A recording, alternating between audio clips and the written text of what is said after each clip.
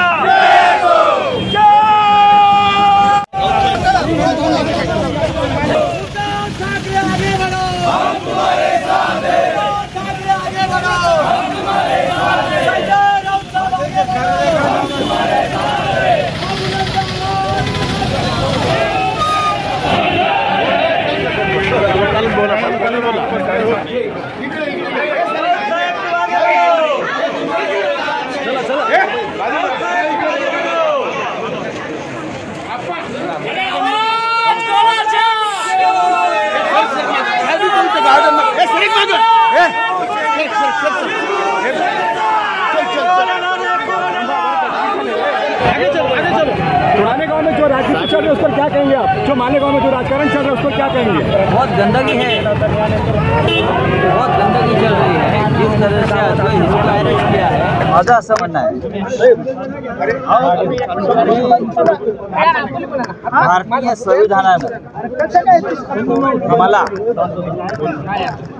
चोराला चोर म्हणण्याचा अधिकार दिलेला आहे.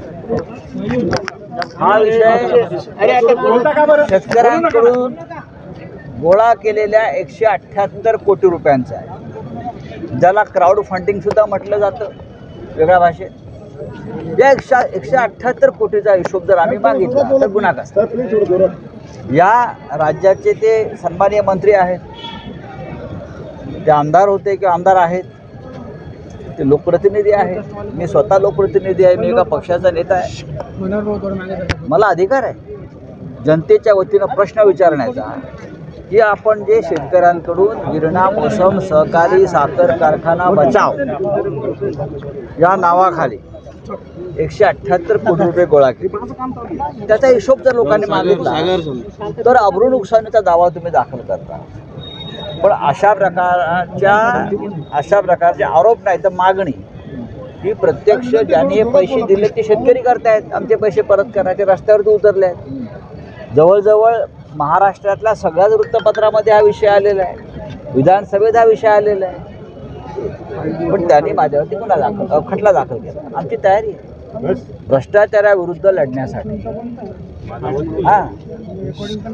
जर आम्हाला खटल्याला सामोरं जावं लागत असेल तर या महाराष्ट्रामध्ये आमची ती तयारी आहे. आणि मला असं वाटतं लोक मला त्यासाठीच ओळखतात आपण जर माफी मागितली तर आपल्याला या संदर्भामध्ये सोडलं जाईल असं देखील त्यांच्या बाळासाहेब ठाकरे यांचा शिवसैनिक आहे. माझ्या आयुष्यात मी कधी गुडघे टेकले नाहीत आणि माफी मागितली नाही. ईडी समोर सुद्धा नाही मी तुरुंगात गेलो. साहेब हा. आपण दोघं लोकप्रतिनिधी आहात आपण तडजोड करावी नाही एक चांगला भ्रष्टाचाराच्या प्रकरणावर तडजोड होत नाही. एकशे अठ्ठ्याहत्तर कोटी शेतकऱ्यांचे गोळा केलेले आहेत. हो हो. त्याचा हिशोब द्या एवढंच मी सांगितलंय. मी आरोप केलाय का?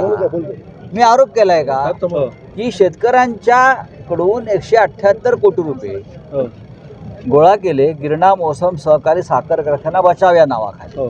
लोकांना हिशोब हवाय. हा. हिसाब तो देना पडेगा ही भाजपचीच गर्जन आहे ना?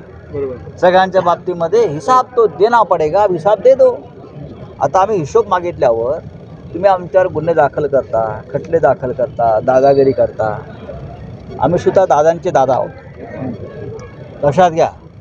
आमचा जन्मच दादागिरीतून झालेला आहे रस्त्यावर. हां आम्ही नावाचे दादा नाही फक्त. डरपोक नाही आहोत आम्ही. आम्ही लढू. या भारतीय घटनेनं मगाशी म्हटल्याप्रमाणे मला चोराला चोर म्हणण्याचा अधिकार घटनेनं दिलेला आहे. मी चोराला महात्मा किंवा संत म्हणू शकत नाही. तो घटनेचा अपमान ठरेल. तीन फेब्रुवारीला आपल्याला उपस्थित राहण्याचं येऊ ना. त्यात काय झालं? महाराष्ट्रातच जायचं आहे ना मालेगावला जायचं आहे. इकडे आमचा आमदार होणार आहे. मला इथे यावंच लागेल. अरे ज्या तुम्ही अद्वय हिरेना तुरुंगात टाकता. अद्वय हिरेना? मग दादा भुसेना का नाही? तुम्ही अद्वय हिरेना तुरुंगात टाकता ना? दबावाखाली? मग दादा भुसे यांचा एकशे अठ्ठ्याहत्तर कोटीचा घोटाळा असताना समोर तुम्ही त्यांचा गुन्हा दाखल करून त्यांना का अटक केली जात नाही? हा भारतीय घटनेने दिलेला मला अधिकार आहे विचारण्याचा. तुमच्या सहा महिन्यापूर्वी या शिवसेना कार्यालयाचं उद्घाटन अद्वै हिरे आबा यांच्यासोबत मी केलं. त्याच कार्यालयामध्ये मी आज आहे आणि आपल्याबरोबर आज अद्वै हिरे आबा नसून सरकारी सुडाचा बळी म्हणून त्याला तुरुंगामध्ये टाकलेला खरे खरं म्हणजे या मालेगावचा आमदार दादा भुसे यांना तुरुंगात पाठवायला पाहिजे. एकशे अठ्ठ्याहत्तर कोटी रुपये गोळा केले. शेतकऱ्यांकडून. पावत्या आहेत पावत्या. पावत्या आहेत. गिरणा मोसम सहकारी साखर कारखाना बचाव. कुठे आहे कारखाना? काय वाचलं काय वाचवलं? आम्ही फक्त एकशे अठ्ठ्याहत्तर कोटी रुपयाचा हिशोब मागितला.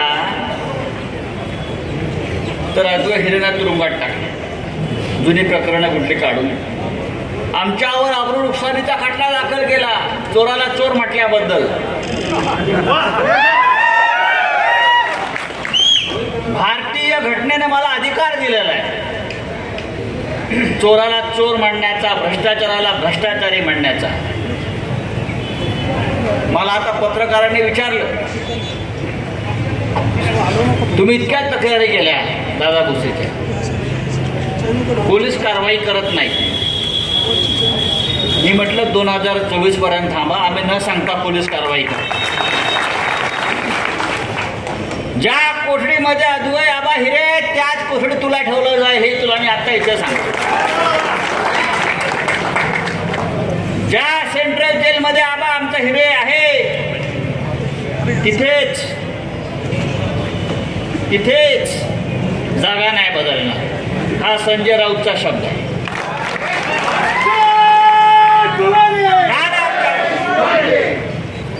किती कारवाया करताय किती गुन्हे दाखल करताय? महिला बसल्यात पण तरी पण सांगते. मी दिल्लीमध्ये असतो अनेक मोठे नेते आम्हाला विचारतात शिवसेना एवढ्या संकटातून ठामपणे उभी आहे.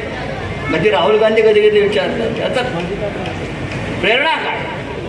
तुलो एकाच शब्दात आहे फटे लेकिन हटे नाही.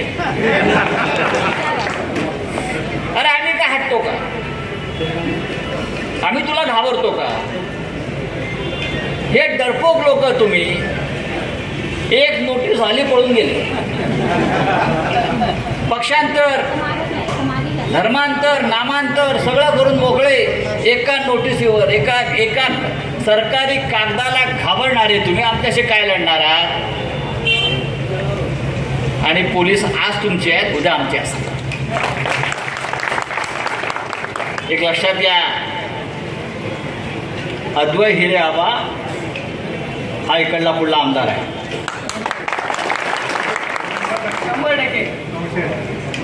अद्वै हिरे आबा हा पुढला इकडला आमदार आहे. कोणी रोखू शकत ना आता. त्याला विधानसभेत जाण्यापासून. तुम्हाला किती जुलूम करायचा आहे किती अत्याचार करायचा आहे तुम्ही करा. आम्ही सहन करायला तयार आहोत. याचंच नाव शिवसेना. या अग्निदिव्यातून आम्ही बाहेर पडू. आणि पुन्हा एकदा या शिवसेनेची मशाल या महाराष्ट्राला उजळून काढल्याशिवाय राहणार नाही हे लक्षात घ्या.